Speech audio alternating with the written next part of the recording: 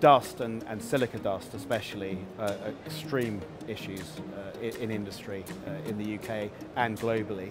Some significant numbers of people are dying from silica related issues, 500 in the last um, round of HSE figures, or just general dust in the workplace. The most recently published figures are showing that 12,000 people that are dying annually. So we've developed a mask that is very easy for the wearer to check that they're actually getting the fit that they need to protect themselves. Our biggest uh, impact on the market has been JSP's half mask Force 8 with PressToCheck filters. For the first time people can go out and test their fit of their mask every time they put it on. Previously we used the disposable um, masks uh, and quite quickly we identified that only 45% of the workforce that were using these masks actually got the correct fit that they needed.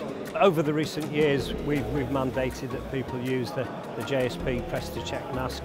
Um, it's our preferred respirator of choice, um, purely because the people that are wearing it can test at the time when they need to wear it that they've got 100% level of protection.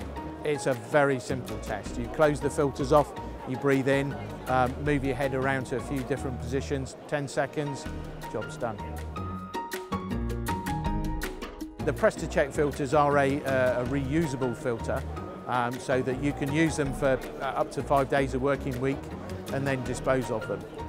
JSP's PressToCheck half mask is actually very cost effective. We found out in many cases that people are finding it a lower cost, uh, long run solution than using disposable masks. They last for a lot longer, they have huge capacity and uh, you can test in fact to see whether or not you will make savings.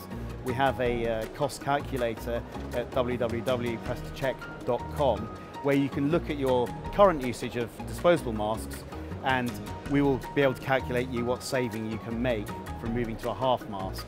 JSP's innovation stream is all about making sure we've got cost effective, easy to use, safe, reliable products that are going to protect the wearer in the workplace.